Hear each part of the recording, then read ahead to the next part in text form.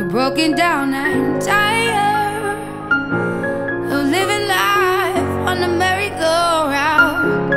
And you can't find a fighter, but I see it in you, so we gon' walk it out. Move mountains. We gon' walk it out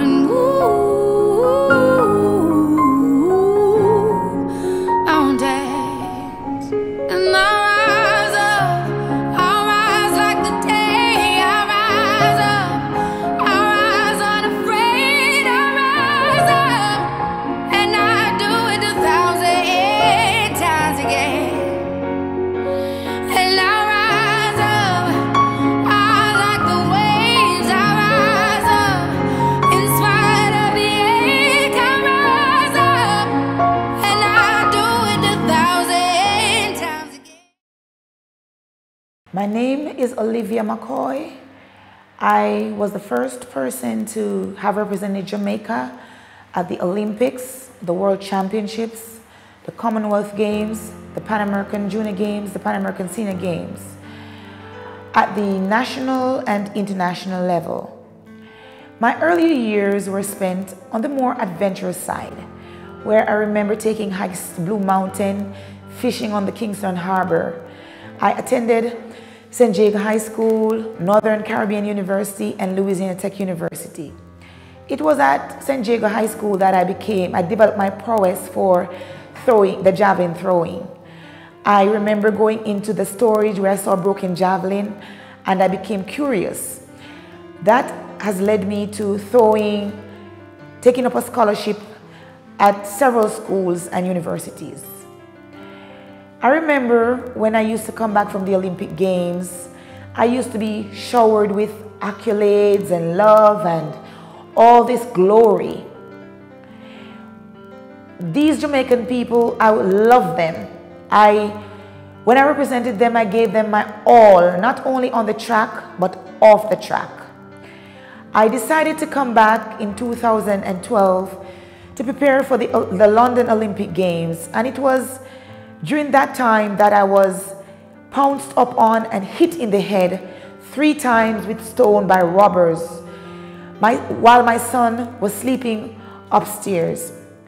That blow took a toll on me. It left me disoriented. I was not the same person again. I had to be separated from my son because I wasn't able to function the way I used to as a mother for him. I was left destitute on the streets of Jamaica.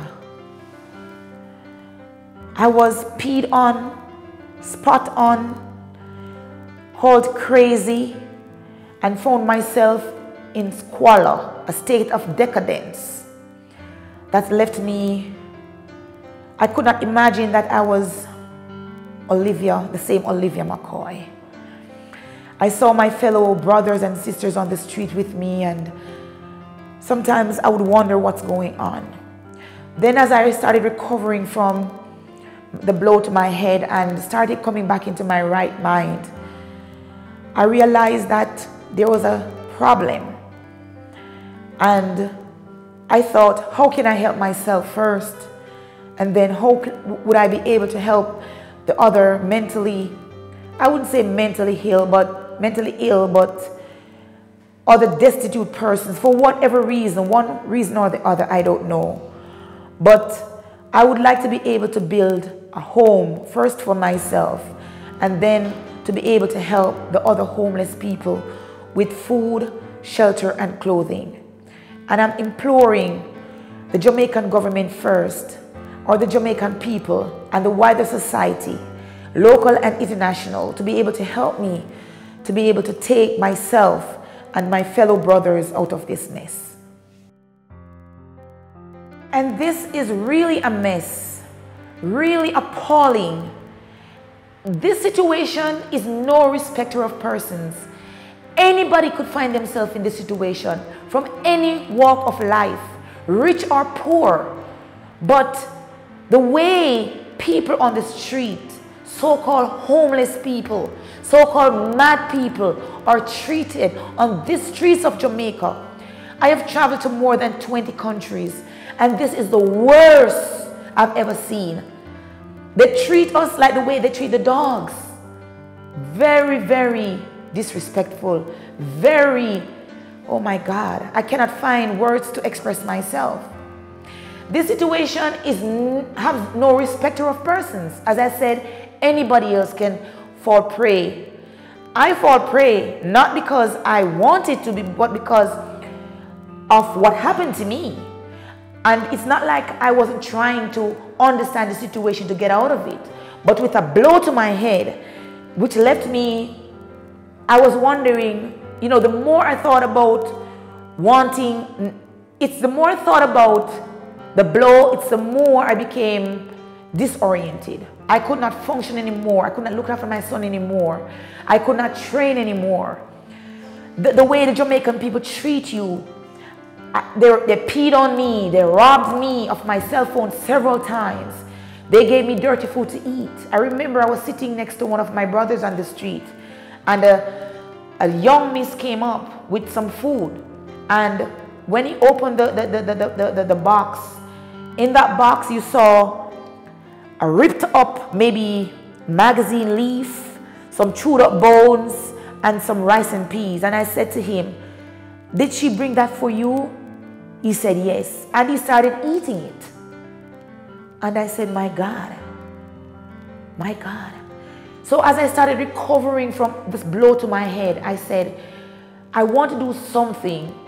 I have traveled, I have this experience even though I'm really down, but I ask God every day, Father God, please just help me out of this situation. Maybe be able to help my brothers and my sister. That's how I went into throwing, I mean, doing the 5K road races. And I started running, but when I realized each time I win the race, I would not get any money. I would get trophies. And whatever I got, you know, whether it be a gift basket or something else, I would share with them. And whatever I got, we would share with each other. And they became my friends because society ostracized us. They looked down on us. So I'm asking, especially the Jamaican people who just pass people by the wayside, you step over them. You know, you look down on them, you call them crazy. Oh, she was a teacher, she was an Olympian. Oh, she's crazy now. Look at her.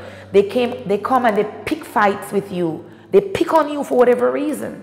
And I just pray to God that one day it's my dream to build a shelter.